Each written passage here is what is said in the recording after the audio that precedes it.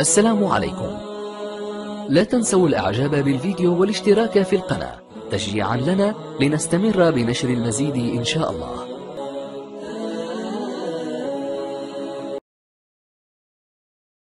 بسم الله الرحمن الرحيم. الحمد لله رب العالمين. حمدا كثيرا طيبا مباركا فيه. كما ينبغي لجلال وجهه ولعظيم سلطانه.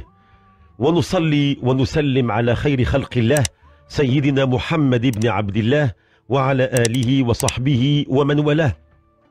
سبحانك لا علم لنا إلا ما علمتنا إنك أنت العليم الحكيم. وبعد أيها الأحبة الكرام أحييكم جميعا بتحية الإسلام تحية أهل الجنة. وتحية أهل الجنة السلام فالسلام عليكم ورحمة الله تعالى وبركاته. وسعداء بهذا اللقاء المتجدد في هذا اليوم الأغر ونحن نستقبل شهر ربيع الأول الذي يختزل الذكرى العطرة ذكرى مولد خير البرية سيدنا محمد صلى الله عليه وسلم. ضيفنا الكريم الذي قدم إلينا من إيطاليا الأستاذ عبد الله مشنون اللي هو من مغاربة العالم بدولة إيطاليا. وهو متعدد الاختصاصات هو مدير ومؤسس الجريدة العربية الأوروبية إيطاليا تيلغراف وهو هذا هذه الجريدة هي منبر إعلامي يصدر من أوروبا وينشر المقالات بلغات ستة. الأستاذ عبد الله مشنون حاصل على على شهادة عليا في مجال الإعلام تخصص الصحافة المكتوبة من المعهد العالي للصحافة والاتصال وصار أستاذا محاضرا بالمنتديات الدولية المهتمة بالمشترك الإنساني وبحوار الحضارات والثقافات والأديان.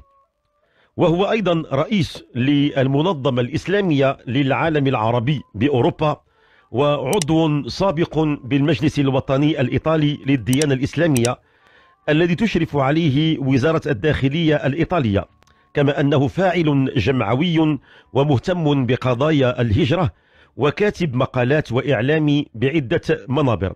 يعني أستاذنا الفاضل شاب مغربي اللي هو الحمد لله عنده اهتمامات وتخصصات متعددة. إن شاء الله سوف نناقش في هذا اللقاء مجموعة من القضايا المرتبطة بمغاربة العالم وبالقضية الوطنية وباهتمام جلالة الملك حفظه الله ورعاه برعاياه الأوفياء بالخارج. وكذلك مشكل المشاكل التي يعاني منها المغاربة آه، في العالم. وما آه، يتعلق برغبة في الاستثمار داخل بلدهم وأرضهم وقضايا العمل الجمعوي وغير ذلك من المسائل. أستاذ عبد الله مشنون يبدو أن أن بطاقتك التعريفية طويلة وعريضة جدا؟ بغينا نوقفوا عند بعض الجوانب. هذا النشاط الذي تقوم به الآن وقد سافرت من المغرب إلى أرض إيطاليا والحمد لله تمكنت في غضون فترة وجيزة أن يكون لك بصمة واضحة داخل الشأن العام داخل إيطاليا وخصوصا لما اخترت المجال الإعلامي. أستاذي الفاضل لو حدثتنا كونك أستاذ محاضر بالمنتديات الدولية وتهتم بالمشترك الإنساني وبحوار ثقافات. يعني ما الغاية من هذه المنتديات وما هي الأهداف المسطرة لها وإلى أي مدى ربما حققت بعض أهدافها؟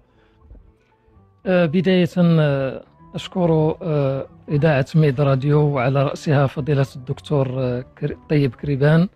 وكل القائمين على هذا الإذاعة القيمة الهادفة التي طبعا يتابعها آه، أغلب المغاربة ومن بينهم كذلك مغاربة العالم يتابعونها آه، نظرا لما آه، للقضايا التي تناقشها وللقضايا التي تتطرق إليها. طبعا أنا أشارك في أغلب الندوات والملتقيات الدولية وكذلك المؤتمرات سواء في المغرب أو في أوروبا أو في بعض الدول العربية. وأظن أنني آه، آخر لقاء شاركت فيه وهو لقاء دولي قبل آه، الجائحة كان في آه، العاصمة الكورية الجنوبية سيول حيث كان هذا اللقاء الدولي منظم من طرف آه، آه، الأمم المتحدة قسم حوار الأديان والذين آه، شاركوا في هذا المؤتمر ناقشوا أهمية الأسرة في بناء المجتمع. طبعا مشاركتي في هذه الندوات وفي هذه اللقاءات الفكرية والعلمية والثقافية وكذلك السياسية آه، تنحصر في آه، إيصال رسالة مفادها على أن آه، المشترك الإنساني له أهمية قصوى وله أهمية كبيرة جدا خاصة إذا اهتم آه، الجميع بدراسة المشترك الإنساني وأخص بالذكر الجالية المسلمة بالخارج وعلى رأسها مغاربة العالم. فهم في أمس الحاجة إلى أن يستوعبوا وأن يفهموا مفهوم المشترك الإنساني. في دولة لا تدين بالإسلام فهي هذه الجالية تحتاج إلى فقه آه، يخول لها آه، التعامل مع غير المسلم. وأظن أن هذه اللقاءات نستفيد منها طبعا. ويستفيد منها آه، الذين يشاركون فيها ويستفيد منها كذلك حتى المنظمون. نعم أستاذ الفاضل ربما بعض المتابعين لنا يتساءلون حينما يسمعون المشترك الإنساني. ماذا نقصد بالمشترك الإنساني؟ هل القيم الروحية؟ هل قيم الإخاء؟ هل قيم المساواة؟ هل آه، هل ماذا نقصد بالضبط؟ أظن أن آه، هناك كتاب قيم كتاب آه، يعني قيم جدا وهادف وأتمنى من كل المهتمين أن يقتنوا وهو كتاب لفضيلة الدكتور عبد الله بوصوف الأمين العام لمجلس الجالية المغربية. ويعني هذا الكتاب هو الذي ألفه وسماه بالمشترك الإنساني. وقد سبق لي أن اطلعت عليه عندما نشر وصراحة نحن ننوه بهذا العمل الجبار الذي قام به فضيلة الدكتور عبد الله بوصوف من خلال تلك الدراسة التي نشرها في هذا الكتاب. طبعا حينما نتحدث عن المشترك الإنساني آه، ربما المقصود به هناك مشترك يجمع الإنسانية. بغض النظر عن آه، الديانات. يعني آه، نعمل فيما في الأمور التي تجمعنا نتفق عليها, نتفق عليها كمجتمع إنساني من احترام من معاملة من صدق إلى غير ذلك. فهذا أنا قلته باختصار. آه، مشترك إنساني نعيش جميعا به نعم. وأنا أنصح آه، المهتمين بالمسألة أن يطلعوا على هذا الكتاب. نعم. أيضا أستاذ الفاضل من, من بين اهتماماتكم هو الحوار بين الثقافات والحضارات. آه، أكيد أن العالم يزخر بأشكال وأنواع مختلفة من الحضارات والثقافات المتعددة. نحن كمغاربة ربما لنا خصوصية معينة. ما مدى تواجدكم في مغاربة العالم في أوروبا وفي العالم الغربي لتأكيد وتعزيز الهوية المغربية مع مد جسور الحوار والتواصل مع باقي الثقافات والحضارات الأخرى؟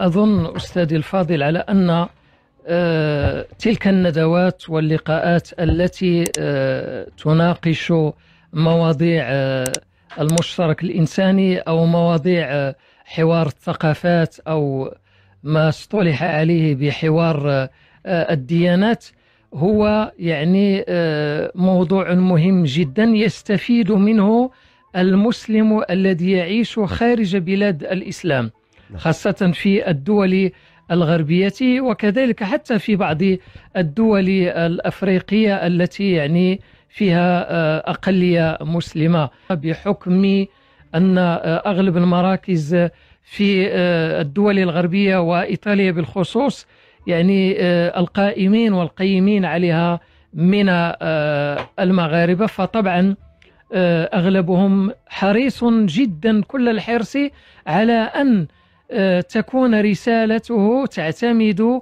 على آه، الخطاب الديني أو ما معروف عندنا بتجديد الخطاب الديني.